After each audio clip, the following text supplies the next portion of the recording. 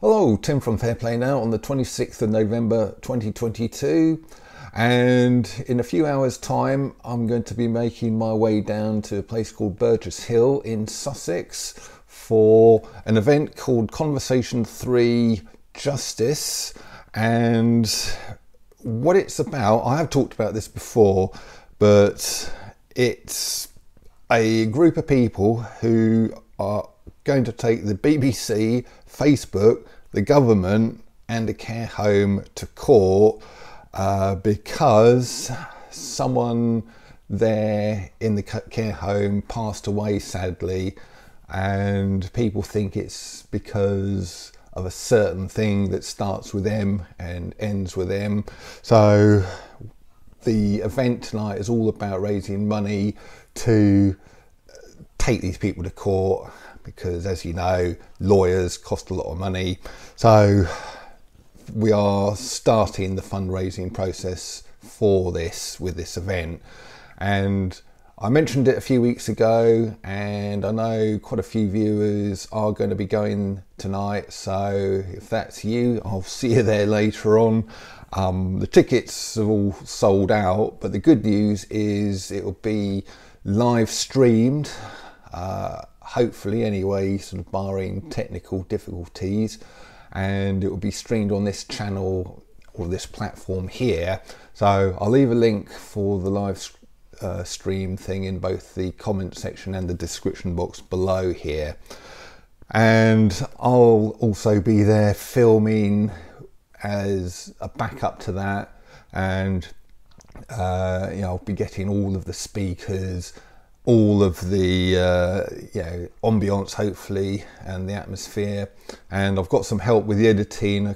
I think quite a professional editor will be uh, sorting all that side of things out. So hopefully we'll end up with quite a slick uh, video for you to watch in a few days or a couple of weeks time whenever it's going to be ready. Uh, but it'll be well worth watching whether you catch that or the live stream tonight and there's some really great speakers. There's the daughter of the lady who passed away in the care home for starters. Uh, there's Jacqui Deevoy, who is a presenter on the UNN Unity News Network, you know, with David Clews, etc.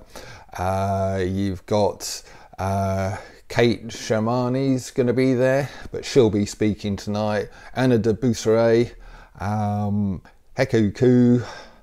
Uh, we've got Davy Stewart, who's a peace officer, the one who uh, was arrested here in my nearby town, Crawley, for impersonating a police officer. Would you believe, even though it's obvious that he's not a real police officer, he's a peace officer. And we've got David Kurten, the Heritage Party guy, who's very much on our side, and finally Dominic Morehouse, who's all about common law. I've mentioned him loads, so some really great speakers there. It's a fantastic lineup of people, well worth watching if you can catch the live stream tonight, uh, or indeed uh, the video that I'll be helping to make in coming days. So I'll let you know when that video is out, obviously, um, here in a later video. So, some really, really good stuff there, and hope to see you there uh, one way or another. So, just a follow on from yesterday's video, I mentioned that ridiculous story where they think that all of the people dropping down left, right, and centre is down to uh, the likes of us and uh, what we're saying about a certain thing.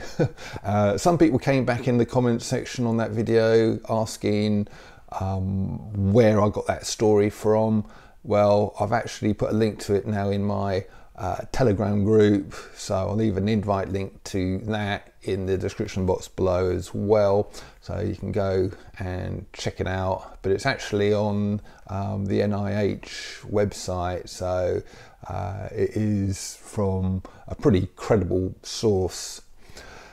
And talking about ridiculous stories, I'm going to finish off with a proposal or a suggestion Now, this was brought into my head by a guy who is a regular viewer, and we've been swapping emails, toing and froing, and he was saying, Do you remember that ridiculous uh, story that appeared? Not sure when it was, probably a couple of years ago, how breaking wind can spread the lurgy.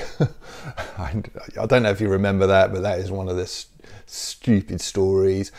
Also, I kind of responded to him about the story of, I don't know if you remember this one, but apparently Chinese aircrew were told that they have to wear uh, adult nappies or diapers uh, when they're in a flight so they don't have to use the toilets and therefore prevent the spread of the lurgy. So that, I, that is honestly a story that came out.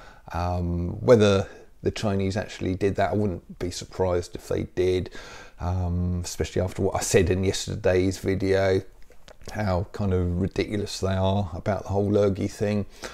But I then suggested to this guy, this viewer, that it'd be a good thing if we kind of started, before we forget about them totally, cataloguing all of these ridiculous stories, all of these ridiculous uh, mandates, um, just as much as we can remember. Um, you know, everything from the whole thing where you had to muzzle up when you go into a restaurant, but as soon as you s- sat down at your table, you could take your muzzle off, and all of that kind of ridiculousness. You know, there's been so many of them, so many things that you know don't make didn't make sense or that were totally ridiculous.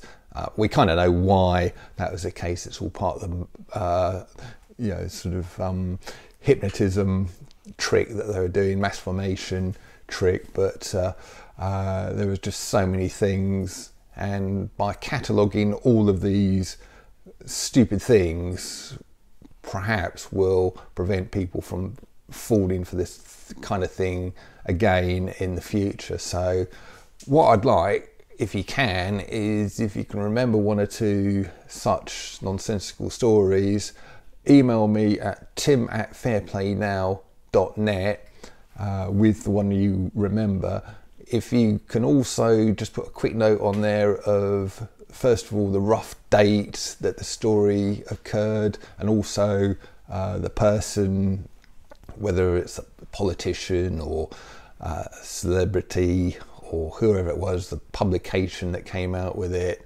um, just so I've got a bit of reference there to go on uh, would be ideal. But yeah please send in your story of what you remember there.